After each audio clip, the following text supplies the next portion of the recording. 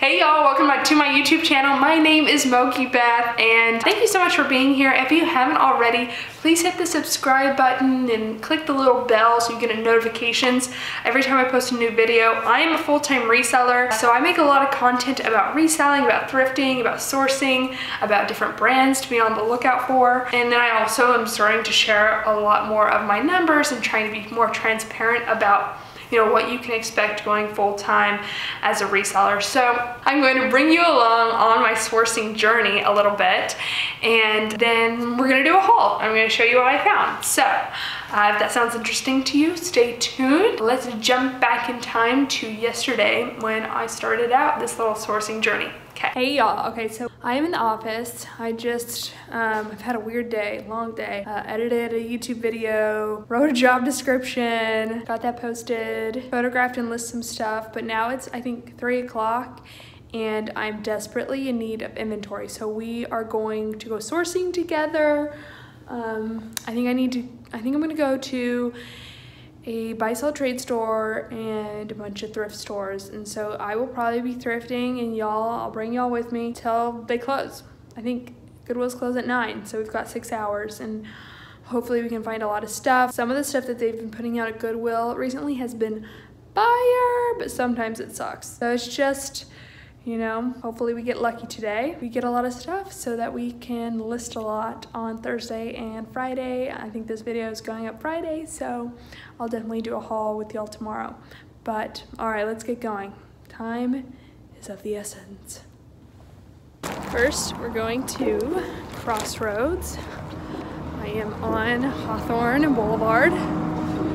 I love the city, it's so cool. Hopefully we find some Good stuff. Oh, by the way, Harlow. It's my favorite. Favorite place to get lunch. Maybe I'll get food after because I'm kind of hungry. All right. Okay, so the first place I went to in Crossroads every single time is the denim section. I found these Joe's jeans that were high rise and great condition and had that keep distressing, so I picked them up. But then after looking them up, I decided not to get them. But Joe's Jeans is a brand that I'm kind of challenging myself to research more because I know certain styles do well. Um, I just don't really know what they are. So after going to the denim section, I think I went to dresses and jackets and then ended up in tops. Um, and y'all, Sézane. If you don't know this brand, definitely go watch my 10 Bolo brand video back from September. It's still one of my favorite videos I've ever done that I love. Um, but I love, love, love that brand. Um, and that was probably my favorite find from the day, honestly. Um, so this is a brand Lovers and Friends. That's an in-house Revolve brand. I was able to find that piece. This is a good example of a Madewell piece I sold a long time ago, but wouldn't anymore. Okay, this Reformation piece, twenty two fifty. So I'm willing to pay up for Reformation because it does have a really uh, quick sell-through rate and it's an in high demand brand. So whenever I find it, I look up comps. So this is me looking. It's a short sleeve cardigan. I know that um, because it's 2250 if I want to make a 50% profit margin, I basically have to sell it on Poshmark for around $55. So, or a little more than that. So, um, I'm looking up comps here. It looks like listing price is maybe gives me enough room, but then when I look at sold, you know, it's selling for 40, 25, so I decided not to get it. Woohoo! All right, we spent two or we, I spent two hours, I guess y'all were along with me, in Crossroads and I found 20 things. I'm so excited about it. Really hit the jackpot there, but I got my smoothie and um, I am now headed off to Goodwill. I think it's 5.30, so three and a half hours. Here we go. At Goodwill, I got this is what I'm going to attach to my cart and hopefully that will help me film this. So, got my reusable bag, got my little thingy bob.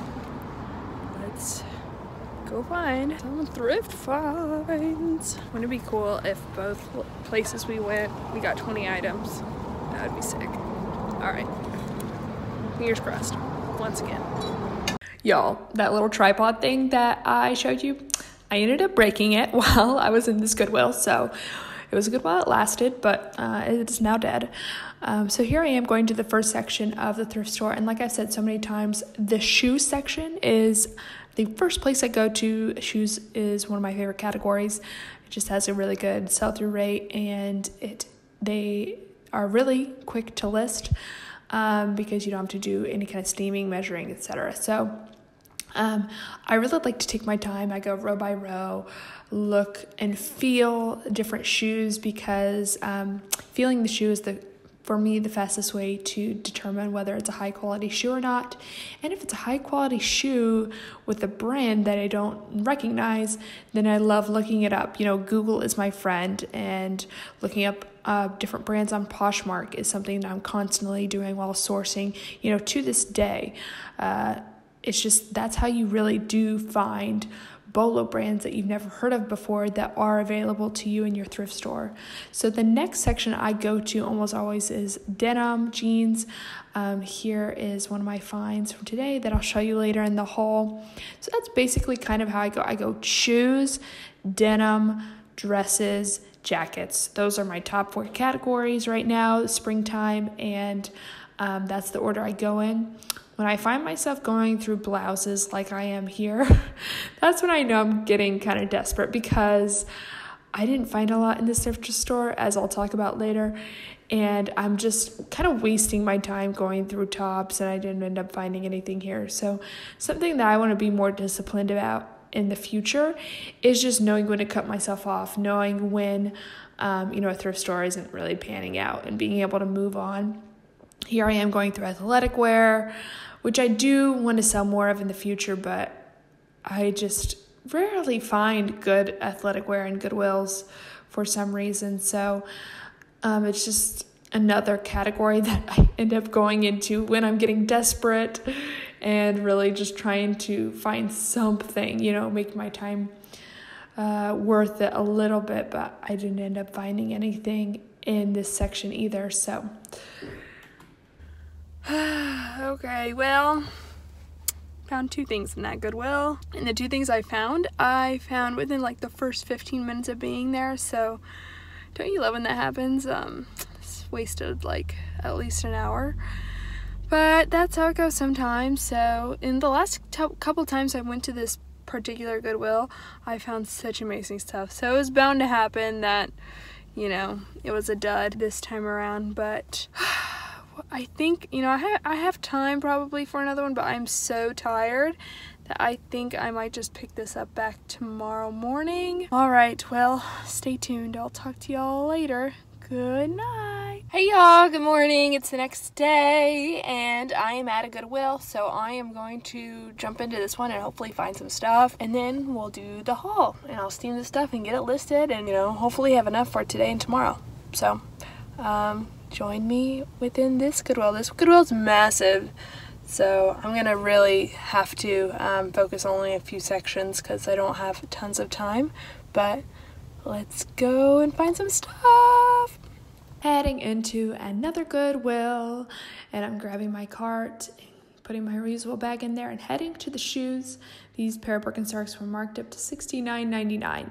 And when I lived in Kansas, there was nothing ever marked up to even anything that close.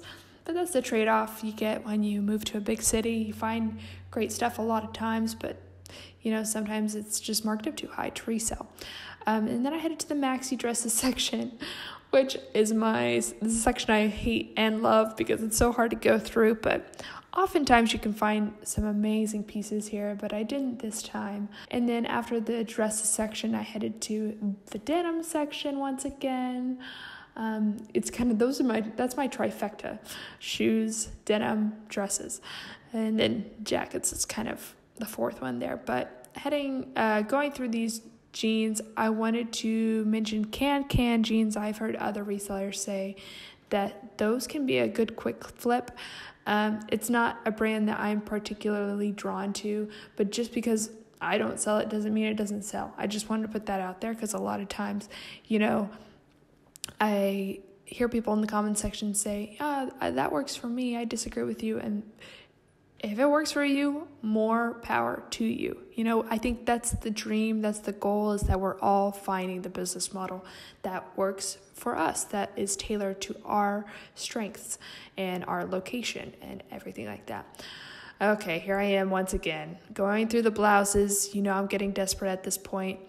You know, my rule of thumb, I think, going forward with these sections is um, if I find a lot of good stuff in my favorite sections, that usually means that there have been a few uh, people donating that have, you know, really good taste and aligned with the stuff that I pick up.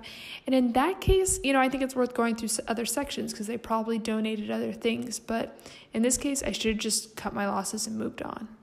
So I'm back in the car and um, second Goodwill where I only found two things and I spent way too long in there and just, you know, that defeated feeling when you spend so much time going through racks and you find nothing. But luckily I found that stuff at Crossroads yesterday. So thankful for that because if without that I would really be lost today. I, would, I wouldn't have anything to list. And that is the nature of this industry which makes it so difficult uh, to scale because you know, it's just unpredictable whether you're going to be able to find enough inventory to list on any given day. So I'm really tired because I haven't had coffee yet and I haven't had anything to eat yet. So um, I'm gonna go to Starbucks and then go steam this stuff. I'm excited to go through that stuff I got at Crossroads yesterday and show y'all.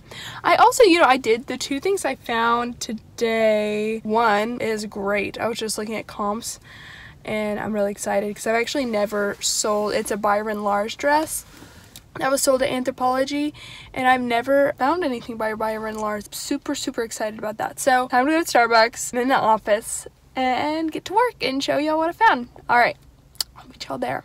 Okay, so I went thrifting yesterday and I went to a buy sell trade store yesterday and then I went thrifting this morning and I have processed and steamed everything that I got and actually during the process of looking everything up and going over comps and putting it in my spreadsheet I discovered that there are about five things I wanted to take back. So the beauty of, you know, sourcing at the buy sell trade store or Goodwill's here is that I can return things. So Goodwill, I have a two week window, Crossroads, I have a one week window. So I'm just gonna go ahead and do that with about five things that I got at Crossroads. But the other uh, 15 things that I got, I am keeping, I'm really excited about and wanna show you. So let's jump into the haul. Found some really good stuff. The first of which being this Reformation dress. So this was the Reformation piece that I found. It is this strawberry pink color. It's called the Angelina dress. It's a really pretty maxi dress, which is perfect for the season we're going into. And then it's got this deep low back with this also kind of V-shaped back, which I thought was really pretty. And here is the tag, and it's a size small. So, yay. Okay, and then the second piece that I got was this Madewell. Somebody at Crossroads basically donated all of their silk pieces from Madewell, and it must have been a few weeks ago that they donated them because they were all marked half off for some reason. So this was one of them, which I thought was really pretty. It's a printed peasant dress with this lace up neckline, three quarter sleeves, just a really great piece for like almost any season. And I love the fact that it's silk, it's a natural breathable fabric. So yes, excited about that one. I was really excited about this one, y'all. I have sold this before, and when I sold it last time, I found it new with tag, and it sold so quickly. At that time, that was last year, it was a size small. So this, uh, so I already have the listing, Sorry, it's really easy for me to list this piece. This is a large free people dress, and it's this really cute wrap dress. Now I'm blanking on the name, but it's got this really gorgeous floral print this ruffle neckline. I love this dress. Okay, so again, someone donated all their, but it's different sizes, so it's confusing, but all these Madewell silk pieces I found. This is a Madewell size zero, and it's a really pretty floral silk dress. I love this floral print. It's very retro inspired. But this has this really cool halter neckline and then it's off the shoulder and has a sleeve. So it's from a recent season. And then it has a ruffle, you know, detail along the, I guess, shoulder line, because this is technically the neckline. But yeah, 100% silk as well. Gorgeous. And again, another silk piece from Madewell. This is an extra small. And this is an off the shoulder kind of crop top that's 100% silk and this really pretty uh, retro inspired print. Very 70s, I love it. It's got this these tassels on um, the shoulder ties there and you can adjust it with the tie and then it has that little flouncy sleeve off the shoulder. All right, y'all, again, and this is a different size, so this is a size six, but this is a silk dress by Madewell as well. This is a really, I was checking comps on this dress, I was very excited because it's a really popular style and I can totally understand why because it's really cute.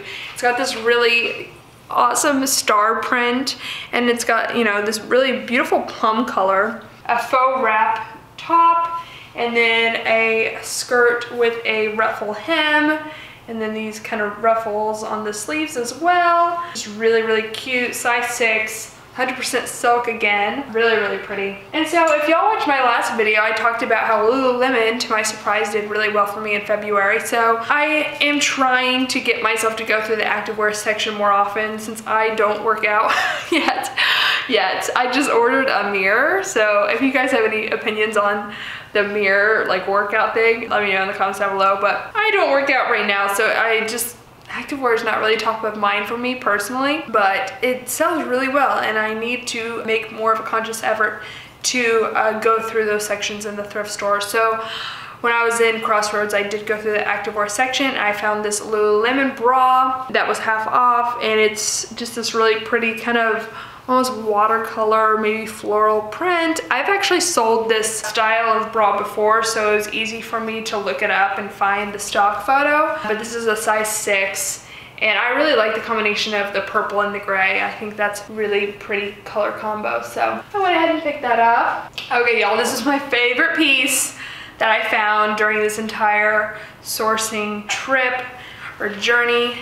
I am obsessed with this brand. It is my, what, fourth time finding this brand.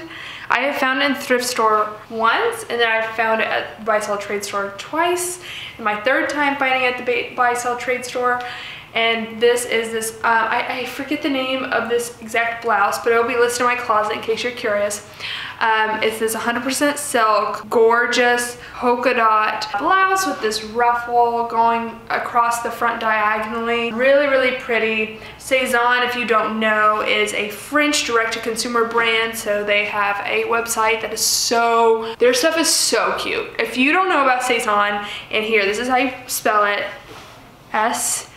S-E with an accent aigu, Z-A-N-E, so S-E Z-A-N-E.com. Just go there, go check it out. Just those gorgeous pieces. And if I had a thousand dollars to spend on any one brand, it would probably be this brand because I love their stuff and I don't own any of it personally, but you know, that probably needs a change. And I'm very tempted to keep this because it is a size 36, which in French is a size 4. I'm not going to because these sell for so much money, y'all. You know, it's 100% silk and Sézane is just a really high in demand brand, so I, I can't allow myself to keep it. Okay, the next is a really cute, I just actually purchased a Free People jumpsuit type thing that I wore in Mexico and, and I put a picture of me in it here. I'll just put it up on Instagram.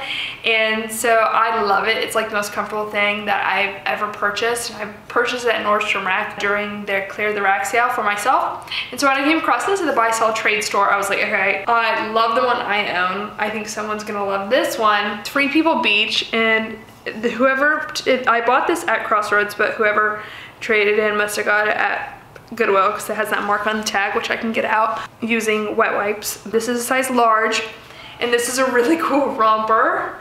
And it's just got these patch pockets on the front, this button detailing on both sides, and then the button detailing on the top. And I just think this is like the perfect swimsuit cover up because it's so comfy, so casual. If you're going to the beach, you're going to a resort, like this is the type of stuff that you kind of want to just lounge in and like pop on before you go to breakfast or whatever. I just really loved that piece that I bought for myself. So I hope whoever ends up with this piece loves it. I hope it sells. Love it. Love, love, love that type of piece. Okay, this is something I'm actually kind of experimenting with um, and I don't sell a lot of Urban Outfitters. It's an Urban Outfitters, so I'll show you the tag. Um, you know, their in-house label. And then this is Nuitag. And so this is the, actually the first thing I found at Crossroads. Yeah, like I said, I don't sell a lot of Urban Outfitters, but I thought this this top was so cute. It's so, you know, 90s, early 2000s esque. It's really got this really pretty kind of cowl neck draped front and then a really dramatic open back with this crisscross strap detail. Um, and then it's this, you know, metallic silver. So I thought that was really fun, really 90s, really in right now. So I thought I'd give it a try. And then I found this Lovers and Friends, which is an in-house brand from Revolve. So I am fairly familiar with Revolve brands. I've sold a bunch of them. And so I'm hoping to sell more of them in the future. So this was a really cute Revolve dress that's perfect for, you know, the summer, spring break, etc. It's this floral print. It's got these pom-pom detailings on the sleeve and on the hem. And it's off the shoulder dress. I just really cute. And then it's got this halter with the tie that also ties the neckline. So I thought this was really, really cute. That at Crossroads. And then y'all, I know in my um, Anthropologie video that I did, I talked about how I don't like this brand anymore. But like I said in the video, there are certain pieces typically that aren't jeans that I do really like to sell. And this is one that when I saw the style, I was like, this is really, really cute and unique. So I want to try it out. It's these wide leg corduroy kind of culottes, but they're, I guess, cropped pants that are in this really pretty baby blue color. And I like um, corduroy only if it's kind of this wide tooth corduroy. To me, that's really fun and retro and very 70s. The really kind of skinny corduroy, I tend to stay away from, just personally and also reselling wise. But this really wide tooth corduroy I think is so cute. And I have actually a suit from the 70s, this wide tooth corduroy suit that I wore to my first Posh Fest ever, and I have a Posh Fest horror story with that suit that maybe one day I'll come on here and tell a story time, a Posh Fest story time, but anyway, I, am obsessed with white corduroy. Uh, so I thought I wanted to give those a try, and those are a size 30, so that's also a good size that I was excited about. Okay, so these don't sell. I may keep them because I am a big fan of plaid trousers or honestly just trousers and kind of menswear inspired pieces for women. These are Free People and they are size small. And I mean, this is kind of a window pane print, plaid print. Um, it's got the pleating on the front, the rolled cuffs on the ankles, just really, really cute. So these were half off, so I thought I'd give them a go, even though, you know, they're not necessarily a springtime piece. I think they're so cute that they're worth picking up. And that's really kind of the rule of thumb that I use when choosing out of season pieces. Right now, I'm not like running to the sweater section, but if I find a sweater that I think is really cute and something that I want to sell, then I'll definitely pick it up and list it.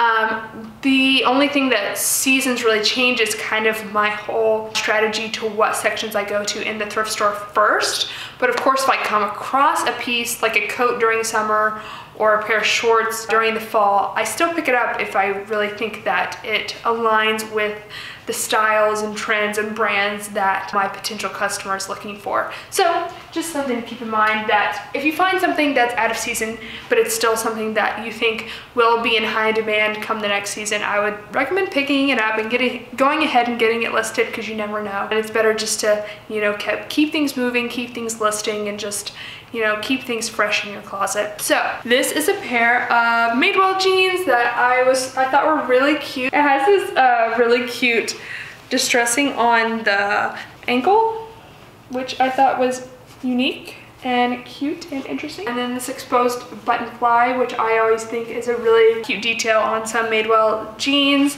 And then the patch is in really good condition.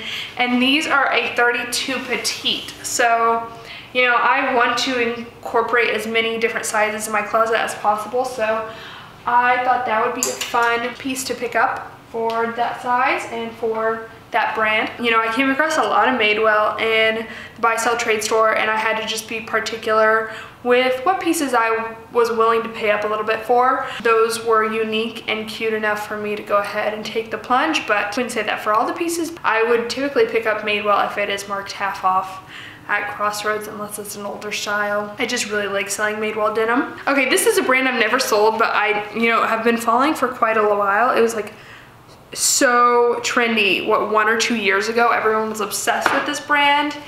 And I never found it then, but, you know, I found a couple pieces recently and these were marked half off, so I was like, okay, I'm gonna go ahead and try them out. I am Gia. These are a pair of plaid pants with the elastic at the ankle. And these are just really, really cute. They're still available on shopbop.com, so they are a fairly recent style. And yeah, I, they're size large. I thought I'd just go ahead and try that brand out and see how it does see if it's still in demand. And so then I went to, you know, the thrift store Goodwill after Crossroads and had limited success at both Goodwills I went to. But that night I went to one and I found these jeans. I find Adriana Goldschmied fairly often, but these styles that I really gravitate towards in this brand are this high rise or super high rise. And these are the Mila ankle super high rise, even though the text is kind of faded here. But I thought these were really, really cute and in excellent condition. They have it distressing on the top here and they're just a medium wash, high rise skinny jean, which you know, I really don't think will ever go out of style. So this is the age, AG aged denim tag really cute. And I actually sold a pair of AG jeans on eBay last month that did re sold really fast. So I'm going to play around more with this brand. And AG is Adriana Goldschmied and it's often sold at Anthropologie, you know, everywhere. Nordstrom, Shopbop, if you think about it, if you can think it, it's probably been sold there. So I wanted to pick that up. And then at that same Goodwill, I found these Jack Rogers wedges. Jack Rogers is a brand that used to do really, really well, but I don't know how it performs anymore. It's been a while since I found a pair that was in good enough condition that I felt comfortable picking it up. And these have, you know, this stacked wooden wedge, this leather upper with these cool golden accents.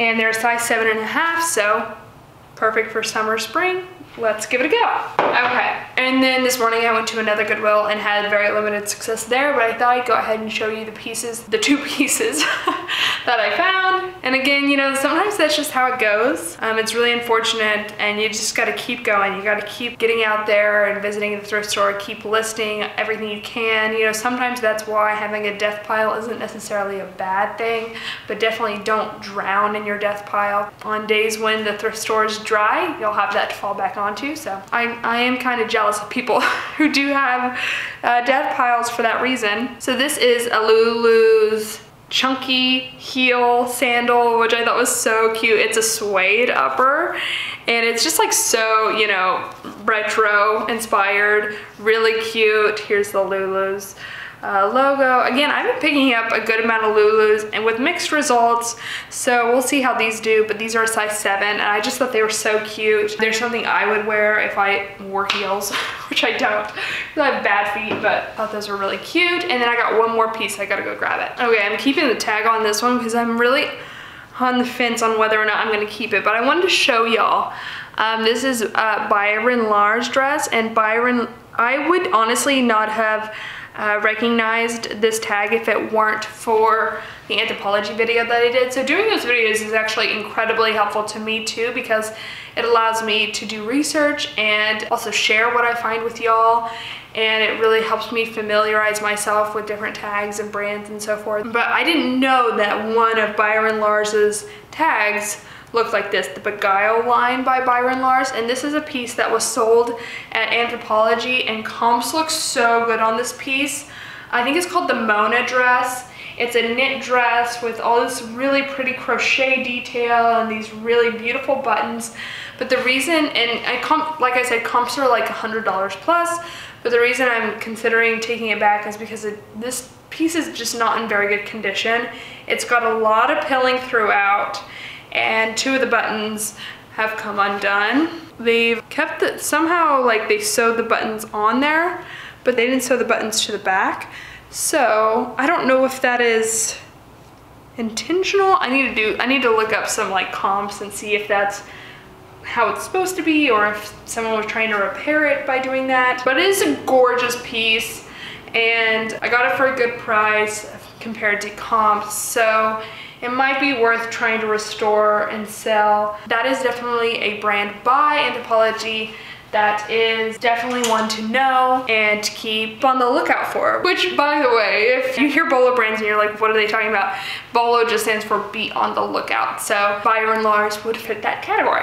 But anyways, that is what I found. I have um, drafted most of these listings, so now I need to just go ahead and photograph them and get them up and listed. Thank you all so much for joining me on this little sourcing journey. Hopefully next time we'll have more luck, but you know, that's just how it goes sometimes. And that's why it's good to diversify the different places that you go. You know, it is good to have honey holes, but keep on trying out different thrift stores, whether it's a local thrift store in your area, try out buy sell trade stores try out marshalls try out tj maxx you know try out all the different options in your area and then also what I used to do when I lived in Wichita was take little road trips to different, you know, cities and towns around. I'm someone who loves a road trip, so I would take any excuse for a good old road trip. I just pop in my like podcast or my audiobook and I just get on the road and can clear my mind and, you know, dream and stuff like that. Yeah, I know a lot of y'all have told me, you know, you can't find these types of things in your area. So I feel your pain. I was there only six months ago, so we just have to be scrappy, we have to be resourceful, we've got to keep evolving, pivoting, and trying new things. So anyway, thank y'all so much for watching this video. Please subscribe if you haven't already, and I will see y'all in the next one. Okay, love y'all. Bye.